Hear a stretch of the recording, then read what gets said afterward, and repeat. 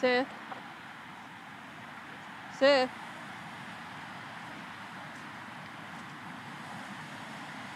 Sir? Sir, are you aware that you have a sister relationship with bears and weasels? Hello, this is Summer speaking.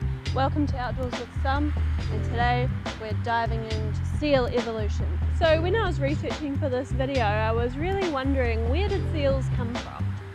How do you end up with this big, blubbery, sock full of pudding type animal? How does that come around? And what's more interesting is it's a mammal and they're so well adapted to living in the oceans. So how does that arise? Where did they come from? I need to know. The seals at Wellington's Red Rocks will be providing the entertainment. This is a bachelor colony of about 150 male New Zealand fur seals or kekeno and they're hauling out over the winter months waiting for the summer breeding season when they can try their chances with the ladies. So um, grab yourself a nori sheet, a plant-based squid ring maybe, whatever you want. Settle in and learn about how seals evolved. So here's what you need to know about seals going into this video. Seals are pinnipeds, which means flipper-footed in Latin. Pinnipeds also include sea lions and walruses. And pinnipeds split off from other caniforms like the bears that I mentioned earlier around 50 million years ago.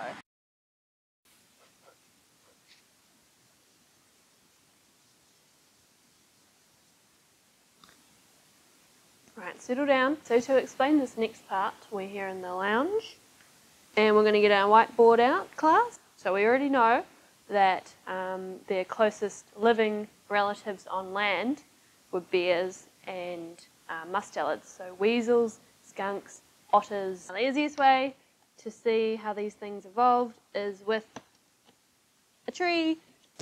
First on the tree, we've got our first branch here. This is the uh, this is the caniforms. Caniforms basically means dog-like in Latin, and that's because they've all got a snout, a long snout.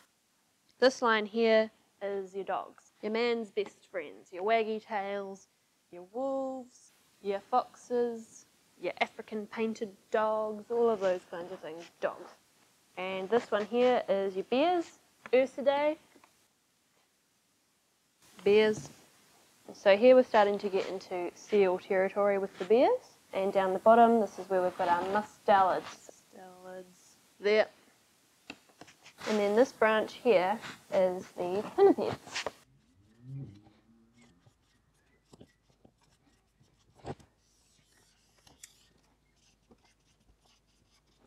Okay, so that tree, it's all well and good, but you might still be wondering how did land-based um, mammals, how did they get into the water? Well, one transitional fossil changed quite a lot um, in terms of what we know about seal evolution. And that fossil was discovered in 2007 up in um, Canada in the high Arctic and it was named Puijila darwini. Puijila is a transitional pinniped, not actually part of the pinniped group, kind of like a proto-pinniped. So it's on its way, but it's not 100% there. Puijila had a few um, features that um, made scientists think that it, it could be a, quite a close relative to the other pinnipeds.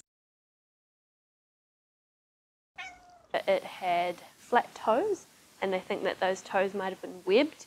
It was about a metre long, um, with quite a long tail, long kind of otterish body, also quite strong, um, short legs, and it probably swam with its feet like that, rather than the thing that made them think it was more closely related to a seal rather than an otter, though, was the shape of its skull.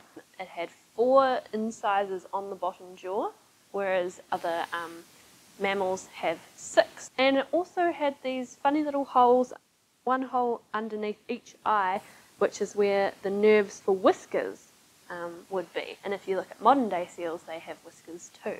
So where does it fit on the tree? It's probably about here. So you can see it's not quite a direct ancestor of the pinnipeds, which would be about here. It branched off at some point in time um, before the modern day pinnipeds evolved. that gives us a good idea of how seals may have started to make their way into the water and the discovery, discovery of Puijila was in a lake. So most likely they lived in fresh water, they probably weren't very well adapted to living in the sea yet. Seals are basically split into three main groups. So two of those are the otarids and then you've got phocids which are true seals. And basically the main difference is that otarids have external ears. Look at those little ears. Scientists still aren't sure whether fur seals and the other otarids split off from the phocids or whether it was the other way around. But basically, they evolved 15 to 17 million years ago in the North Pacific. What scientists think is that the closure of the Central American Seaway, which happened about 5 million years ago, caused all of the oceans around the equator to cool off and that meant that seals could start spreading down into the southern hemisphere and diversifying into the forms we see today. So yeah, that's how seals evolved. I hope you enjoyed the video and learned something today. If you've got any more suggestions about New Zealand species um, that I could go out video that you might want to know a bit more about how they evolved, then do let me know down in the comments. Give it a like, give it a subscribe if you really want to, if you really like it, and I'll see you next time. Bye!